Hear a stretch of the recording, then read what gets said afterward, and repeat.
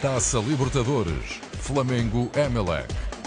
A eliminatória de estreia de Jorge Jesus na Champions Sul-Americana. O adversário é um grande do futebol equatoriano. A Sport TV no jogo decisivo dos oitavos, em direto do Maracanã.